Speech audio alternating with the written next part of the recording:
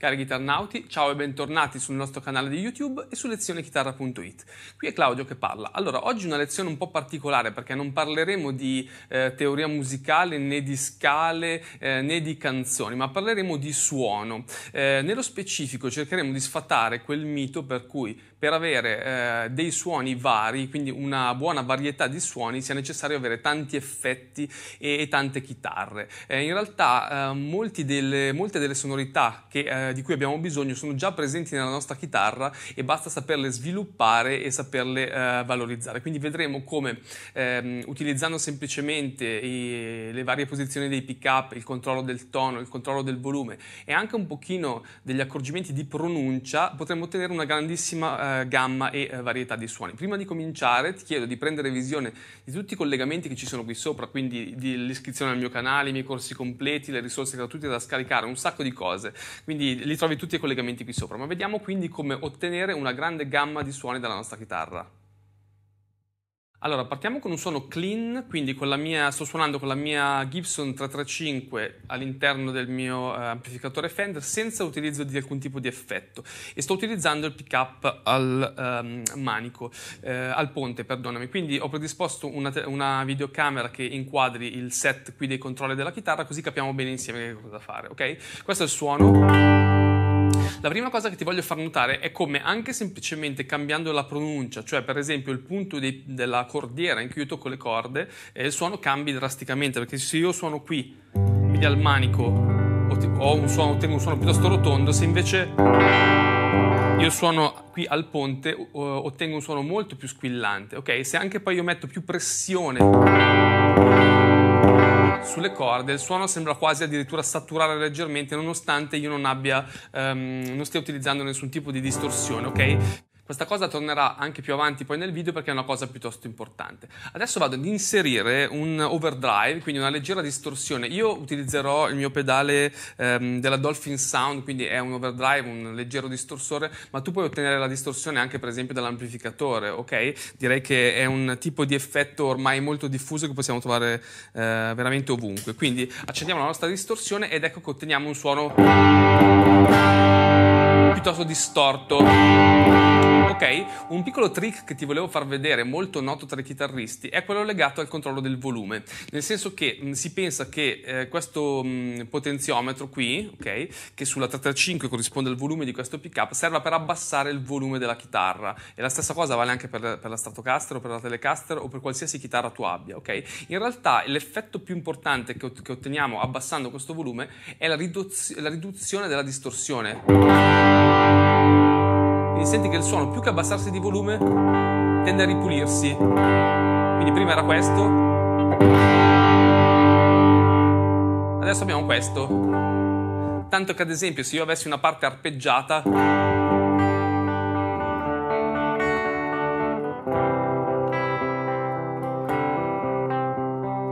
la posso gestire tranquillamente. Se facessi la stessa parte con il, il, il volume al massimo,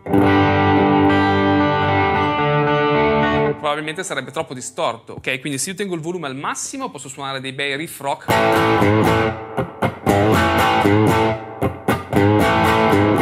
Poi mi basta un piccolo giro di volume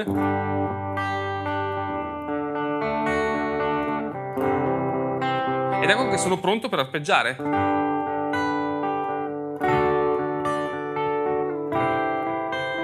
Quindi molti pensano che per passare da una modalità all'altra di questo tipo, quindi suono distorto e suono eh, quasi pulito, serva un pedale, in realtà io non sto toccando niente nella pedaliera, ok? Il suono è assolutamente lo stesso. E anche qui, anche la pronuncia cambia molto, nel senso che, mh, per esempio, se io eh, anche con ehm, il volume un pochino abbassato, quindi con questa mezza distorsione, diciamo così, ok? Suono spingendo molto e anche qui verso il ponte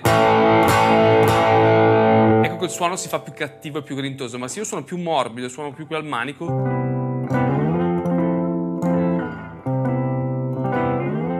senti che il suono si fa più morbido, no?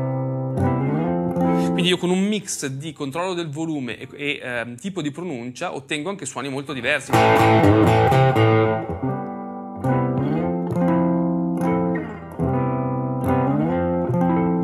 E questo è molto molto interessante, va bene? Ecco, un'altra cosa che ti volevo far notare è come, sempre con il distorsore mh, acceso, ehm, utilizzando il pickup centrale, io posso ottenere un effetto ancora più eh, cristallino, se vogliamo. Un po' da chitarra acustica.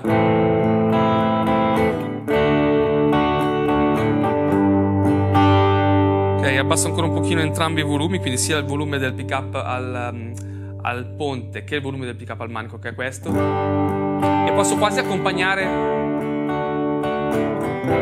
come se fosse una chitarra pulita, no? tieni conto che insomma, il pedale mi sta dando una, una buona quantità di distorsione. Se io rimettessi, eh, rimettessi il pick up al ponte e mettessi il gain al massimo, il suono di partenza è questo. Eh.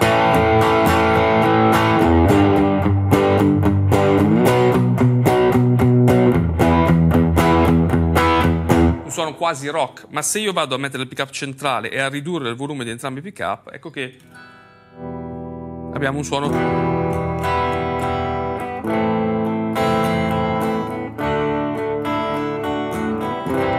essere interessante anche per accompagnare delle parti simil-acustiche. Questa è una problematica che capita spesso perché quante volte noi abbiamo un brano che prevederebbe anche l'utilizzo della chitarra acustica, ma noi purtroppo non ce l'abbiamo a disposizione o non possiamo nel live o con la nostra band far intervenire la chitarra acustica in quel punto, no? È un problema veramente tipico tra i chitarristi. Allora ecco che possiamo ovviare con questa cosa, quindi pick up centrale, che sia anche con la tua Telecaster o con la tua Stratocaster, e abbassamento dei volumi sempre pronti a tornare al massimo della potenza, quindi mettendo poi il pick up al ponte e alzando il volume. E allora anche gli assoli.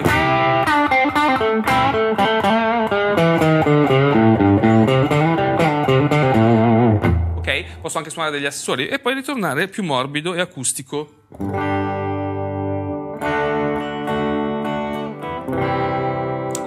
Un'altra sonorità interessante che ti volevo far vedere è questa, quindi passando poi al pick up al um, manico.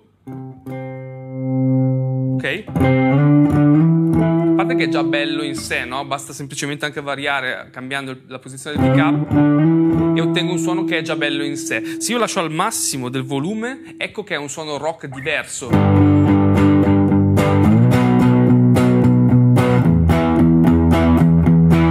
Chiaramente molto più scuro rispetto invece al pick up al, al ponte. Ok, ma interessante comunque, no?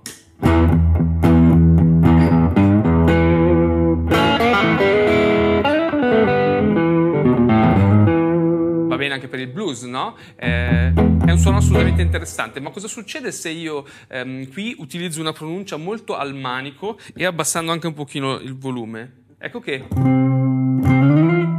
il suono si fa jazzy.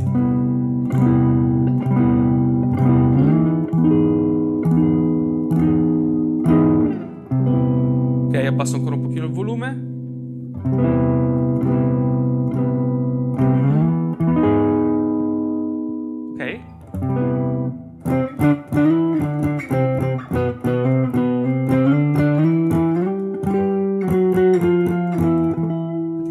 Jazzy, no? E poco fa invece il suono era rock.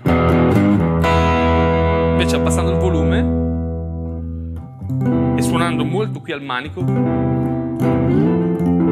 Ok? Eh, questo effetto può essere ancora di più enfatizzato chiudendo anche il tono. Non abbiamo ancora parlato dei toni, quindi del controllo di tono, che sono sulla, sulla 35, sono questi due eh, potenziometri più lontani. Ma se io vado anche a chiudere il tono, ecco che l'effetto jazzy è ancora più enfatizzato.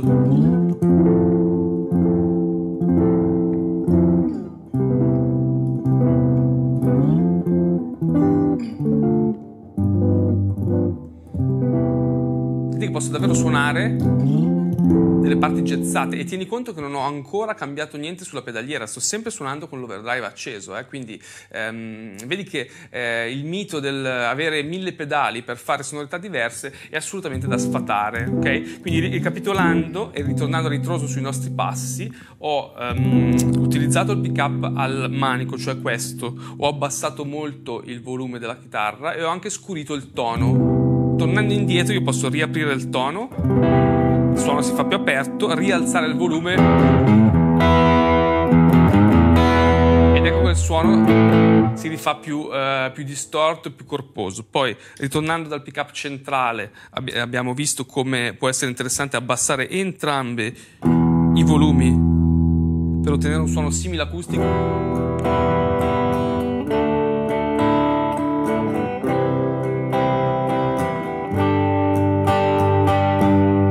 E ritornando invece al pick up al ponte, abbiamo visto come alzando al massimo.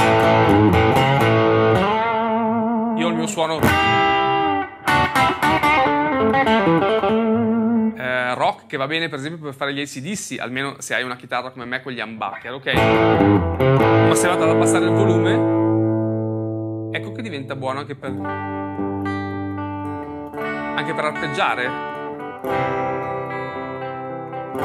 e poi non abbiamo sperimentato per esempio col tono di questo pick up al manico, no? Anche il tono permette di tirare fuori sonorità ancora diverse ok? Poi chiaramente dovrai anche sperimentare con la tua chitarra, va bene? Perché eh, anche dentro a ogni chitarra ci sono poi possibilità e sonorità eh, diverse, però quelle che ti ho descritto diciamo che credo che si possano adattare abbastanza bene a tutte le tipologie di chitarra elettrica, quindi spero di averti dato una prima panoramica delle sonorità che si possono ottenere da una chitarra soltanto lavorando con la scelta del pick up, il controllo del volume, eh, la gestione del tono e anche la gestione della pronuncia, ok? Quindi suonare per esempio al ponte col plettro o suonare al manico, va bene? Eh, credo che questo mh, aspetto per un chitarrista elettrico sia davvero molto interessante. Se questo tipo di video ti sarà piaciuto potremo anche tornare poi in futuro su come eh, ottenere le sonorità che ci interessano dalla nostra strumentazione. Noi ci vediamo sicuramente settimana prossima per un altro tipo di lezione, chissà quale. Ciao, buona chitarra e a presto!